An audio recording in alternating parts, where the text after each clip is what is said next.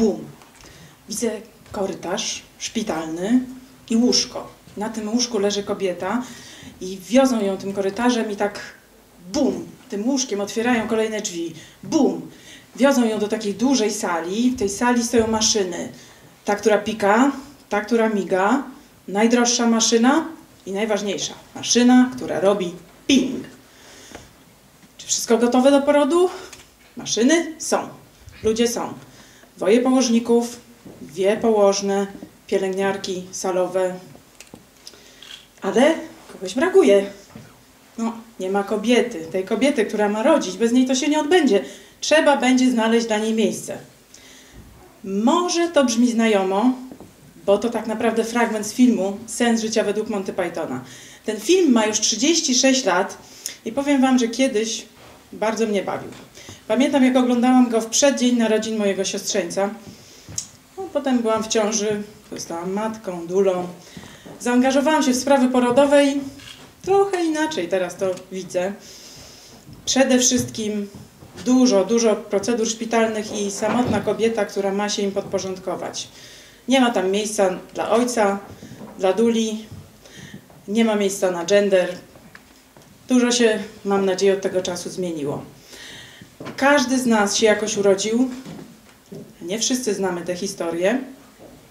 I myślę, że bardzo mało jest budujących historii porodowych o wspólnocie, o sile, o bezpieczeństwie.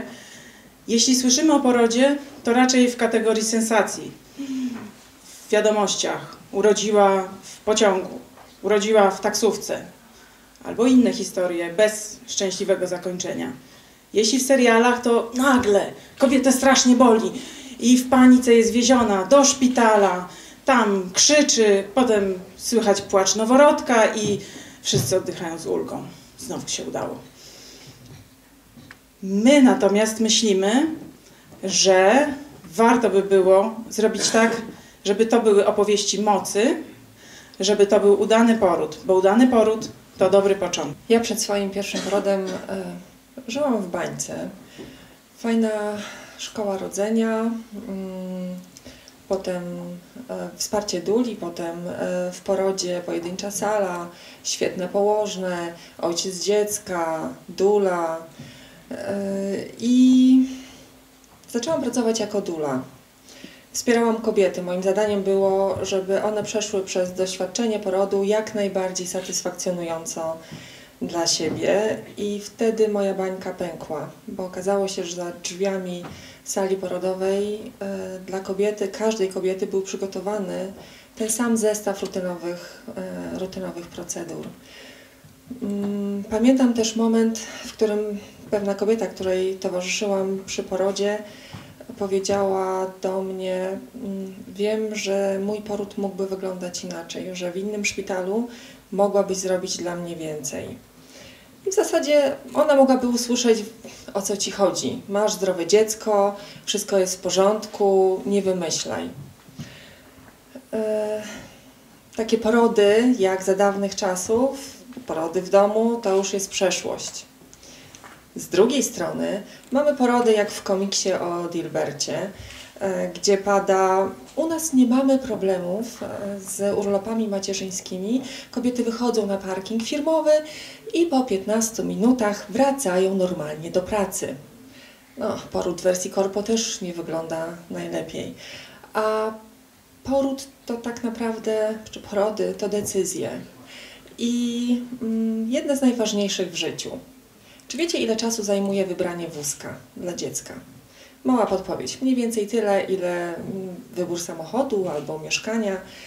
Mieszkanie można sprzedać, samochód można sprzedać, wózek wymienić, a tego porodu, doświadczenia tego porodu czy narodzin tego dziecka to są doświadczenia jednorazowe. Już nie da ich się zmienić. Nawet jeśli e, będziemy mieli kolejne dziecko, to będzie to kolejne doświadczenie i kolejny niepowtarzalny poród.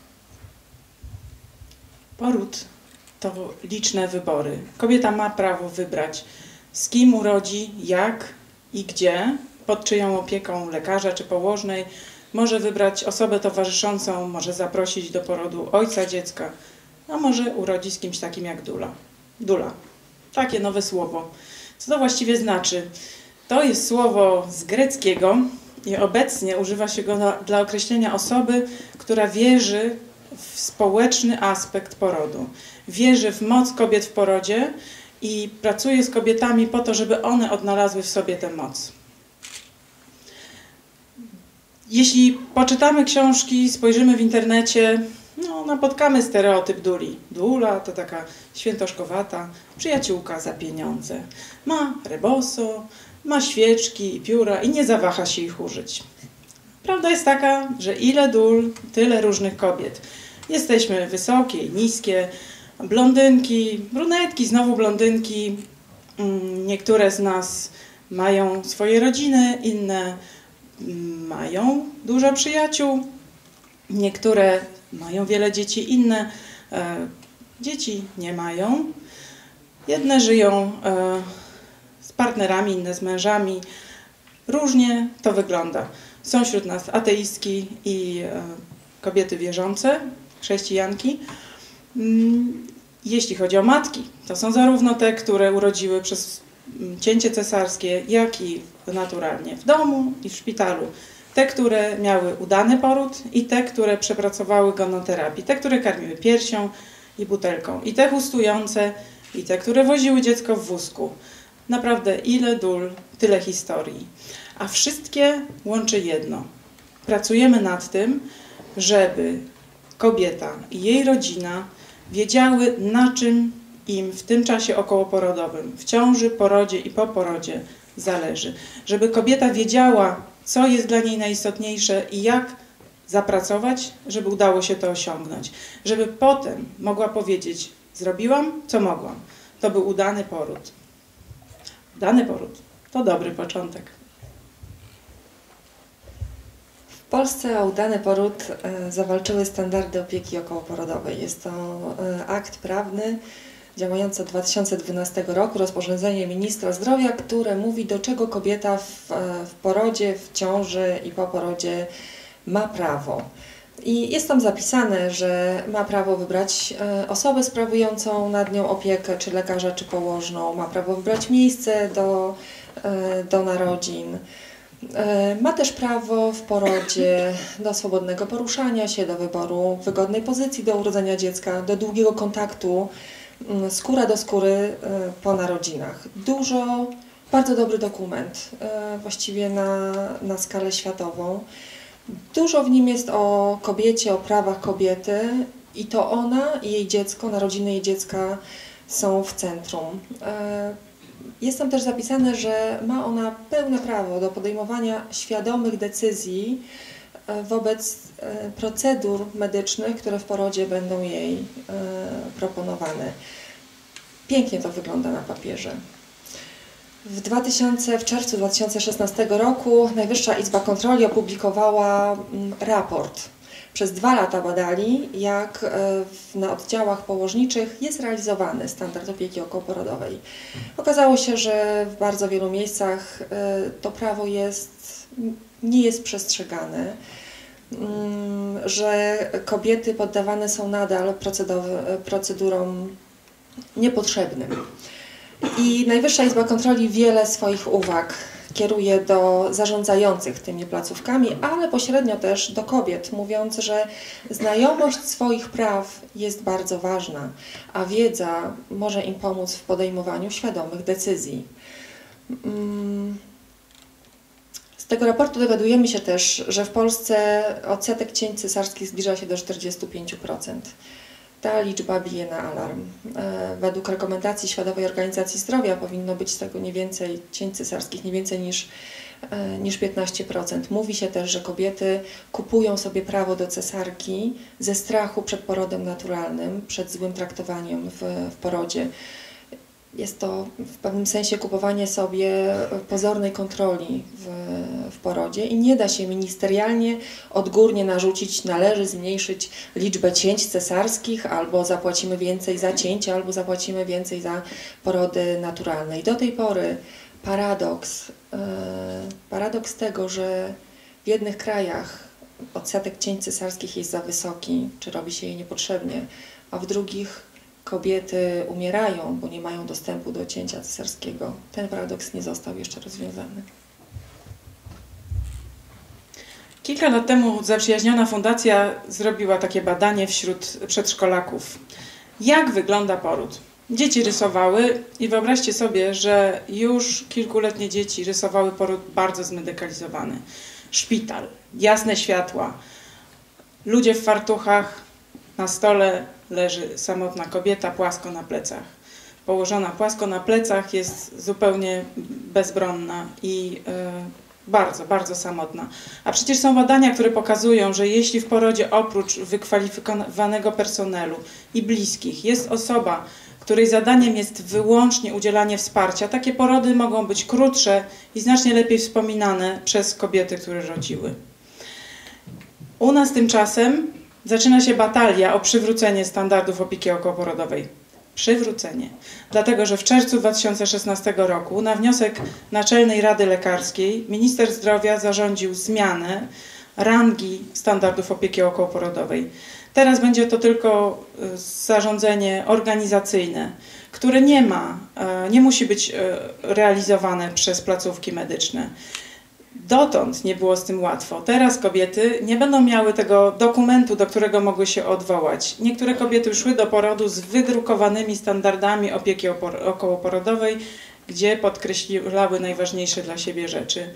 Jeśli tego dokumentu nie będzie, kobiety będą zdane na zwyczaje w konkretnej placówce, z którymi bywa różnie. Bywa świetnie, bywa różnie. Tak więc my, jako dule, też włączyłyśmy się do tej akcji pracy nad przywróceniem standardów opieki okołoporodowej. Wyobraźmy sobie wyspę prawie bezludną. E, na niej para oczekująca narodzin e, swojego dziecka poradzą sobie jak umieją. E, dziecko się urodzi, przytulą je, nakarmią, być może opłaczą. Nie będzie pomocy położniczej, e, ale też nie będzie nikt im przeszkadzał. Gdyby się wyspa rozrastała, pojawi się dużo ich bliskich znajomych, wśród nich być może położna, która usłuży im swoją wiedzą i doświadczeniem. Wyspa się rozrasta, pojawiają się szpitale, pojawiają się lekarze i na tej wiosce, na tej wyspie już nikt nie będzie rodził pod drzewem e, w polu, tylko będą rodzić wśród maszyn i wśród specjalistów, którzy pewnie wiedzą jak się rodzi, tyle lat studiowali. Jak znaleźć tę równowagę pomiędzy mm, aspektem społecznym a medycznym w porodzie? Bo tak naprawdę w porodzie chodzi o to, żeby wszyscy zaangażowani w to wydarzenie wiedzieli, jak ważne jest to wydarzenie. E, I niezależnie od sposobu, w jaki dziecko się rodzi, najważniejsza oprócz dziecka jest ta rodzina, która się w tym momencie rodzi. Czy to jest poród w domu, czy to jest poród w szpitalu, czy jest to poród naturalny, czy to jest to poród przez cesarskie cięcie. Bo początek jest ważny i ważne jest, żeby kobieta urodziła w zgodzie ze sobą, w godności i w intymności, ponieważ udany poród to lepszy, łatwiejszy start e, w rodzicielstwo. I my, jako społeczeństwo, też mamy bardzo dużą odpowiedzialność, żeby uwierzyć w tych rodziców, żeby uwierzyć w ich kompetencje. Wyobraźcie sobie ich pierwszy spacer. E, wychodzą z dzieckiem, być może są zamotani w chuście, może mają je na ręku, może w wózku przed sobą. Cali dumni i bladzi, no, może popłoch e, na twarzy, ale szczęście w oczach, spotykają sąsiadkę. E, I sąsiadka mówi: O, nie ma drugiej czapeczki, bo to taka kwestia drażliwa w naszym społeczeństwie jest ta czapeczka. A oni wzmocnieni przez nas jako społeczeństwo, którzy uwierzyliśmy w ich kompetencje, patrzą na tą sąsiadkę i mówią z całą swoją mocą: A nie ma. Początek jest ważny.